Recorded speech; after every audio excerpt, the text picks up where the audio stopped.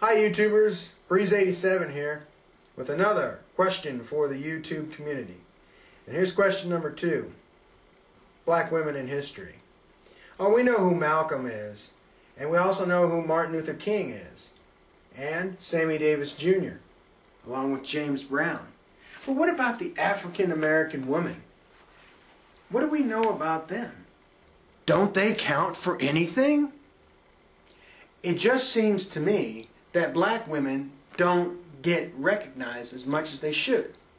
Which brings me back to question number two on Breezy's top five questions for the YouTube community.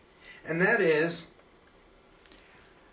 do you think that African American women, and I mean globally, should be recognized for their accomplishments? And why?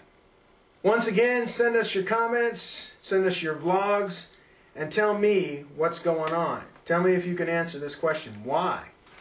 And like I said, I'll uh, say your name somewhere on my uh, video blog somewhere down the road. Okay? So until then, this is Breeze87 saying, see ya!